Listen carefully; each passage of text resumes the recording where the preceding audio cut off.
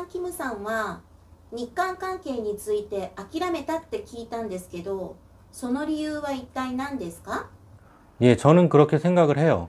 되돌리기에는 너무 많이 늦었다. 제가 역사 공부를 하고서 반일 탈출을 했다면 그 이후에는 나에게 30년 동안 반일 의식을 심어준 세력은 누구이며 또 그들의 목적은 무엇이고 그렇게 함으로써 무엇을 얻게 되는지 그러한 것들을 중점적으로 알아봤거든요. 사실 지금 와서 일제시대가 식민지네, 병합이네, 일제시대가 살기가 좋았네, 아니네, 이런 걸로 역사 문제를 다투기엔 그 시기가 너무 늦었다고 보거든요. 솔직히 말하면 이렇게 한가롭게 반일이나 하고 있을 때가 아니죠. 어, 첫 번째로는 시스템적인 문제라고 봅니다. 한국이란 나라가 시작부터 반일로 세워진 국가이고 그 반일의 뼈대를 우익이 만들었다고 한다면 그 뼈대에 살을 붙이고 새로운 역사를 지속적으로 창조하는 건 좌익들이거든요. 예를 들어서 전범기라는 단어와 토착 외구라는 단어도 새롭게 생긴 단어 아니겠습니까? 그리고 그러한 단어에 대해서 우익들은 침묵을 하죠. 즉, 한국에서 반일이라는 건 좌익과 우익이 서로 공유하는 사상이라는 겁니다. 우익이 독립정신과 국민 통합을 위해서 반일 정책을 시행을 했다라고 한다면 좌익은 더 나아가서 한국의 주적을 북한에서 일본으로 바꾸는 그러한 작업까지 했거든요. 이게 빠르면 80년대 후반이고 늦어도 90년대 초반에는 그러한 움직임이 시작됐습니다. 어, 가끔 한국 분들 중에서 문재인 정권이 들어서 반일이 시작되었다라고 말씀하시는 분도 계시는데 그렇지 않아요. 이미 30년 전부터 지속적으로 해왔던 겁니다. 그리고 그 결실을 지금 맺고 있는 것 뿐이죠. 한국 분들은 그러한 단체를 좀 유심히 지켜볼 필요가 있다고 봅니다. 그들이 무엇 때문에 어떤 목적을 가지고 또 무엇을 얻어가는지 한 가지 확실한 건 애국심은 아니라는 거예요. 어, 한국에서 소녀상을 제작하는 사람들이 있죠. 그분들은 과거에 돼지를 조각하면서 전시회를 하고 미술 학원을 운영하던 사람들이었는데 훗날 위안부 집회인 수요 집회와 손을 잡게 됩니다. 소녀상에서는 단호함, 분노, 슬픔이 함께 느껴지고 소녀가 남이 아닌 나, 내 가족처럼 보이길 희망을 했다고 합니다. 그래야 시민들이 더 공감을 할 수가 있으니까요. 어, 글쎄요. 저는 솔직히 잘 모르겠어요. 소녀상을 만드는 작가들에게는 서로마다 저작권을 가지고 있다고 합니다. 그리고 저작권에 위배되는 상대에게는 소녀상을 폐기하라고 하죠. 그러니 소녀상 자체가 일본을 향해서 만든 것이 아니라 한국 국민들에게 분노와 슬픔을 지속적으로 갖게 하는 것이 목적이라고 저는 보거든요. 여기 유니크로 앞에 피켓을 들고 서 있는 사람이 소속된 이 단체는 북한과의 관계를 매우 소중하게 생각하고 있는 그런 단체죠. 그리고 이 단체는 이영훈 교수의 반일 종족주의라는 책을 분서 갱유하라고 써 있습니다. 일반인들은 이러한 단어 하나하나에 큰 의미를 두지 않을 겁니다. 분서 갱유는 진나라 황제가 사상통제의 정책으로 각종 서적들을 불태우고 수백 명의 유생들을 생매장한 사건이거든요. 바로 이것이 언론과 문화에 대한 탄압의 상징이죠. 이게 정말 무서운 말이에요. 어, 이들은 이렇게 주장을 합니다.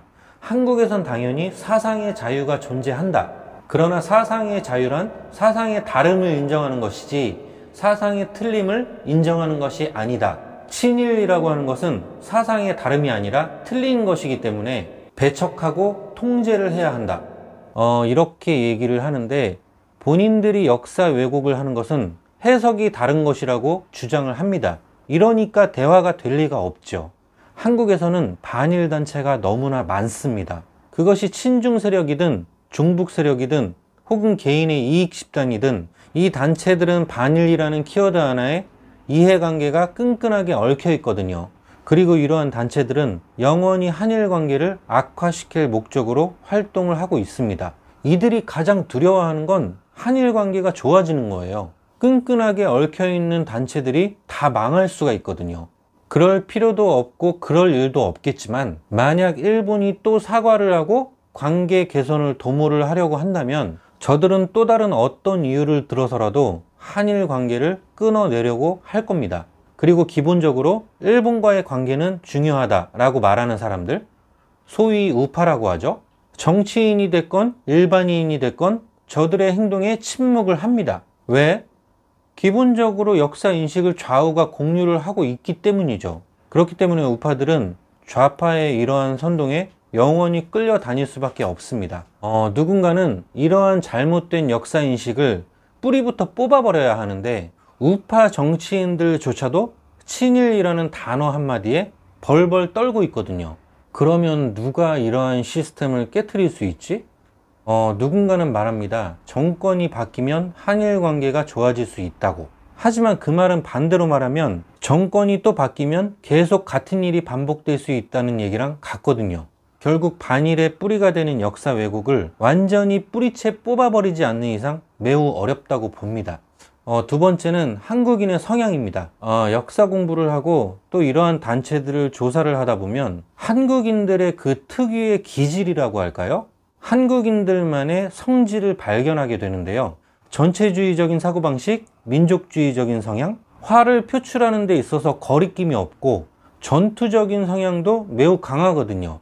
감정 표출이 뛰어난 한국인들의 성향과 분노의 대상을 만들어내는 반일 선동과 결합이 되었을 때 그 시너지 효과는 상당하다고 봅니다. 비단 반일뿐만이 아니라 한국 사회 곳곳에서 분노의 대상이 만들어지면 어김없이 집단적 광기가 발동이 되거든요.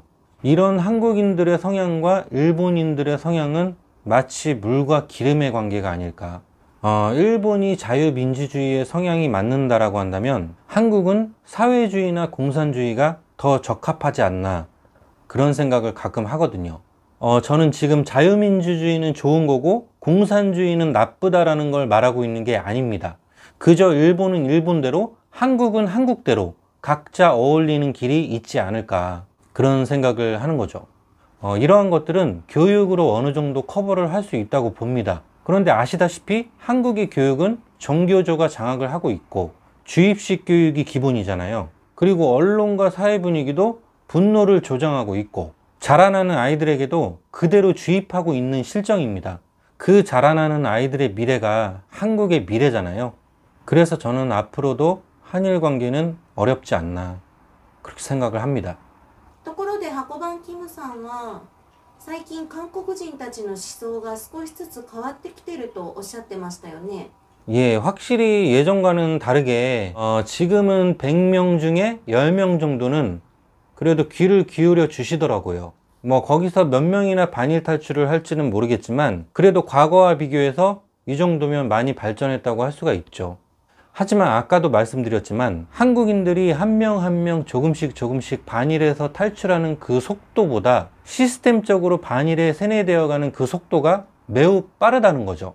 그리고 한국인들 대부분이 반일에서 탈출했을 때쯤엔 한국이란 나라는 이미 손을 쓰지 못할 정도로 다른 세력에게 장악을 당해 있을 겁니다. 그래서 늦었다는 것이고 지금이라도 빨리 이러한 이상의 현상들에 대해서 눈치를 채 줬으면 한다는 거죠.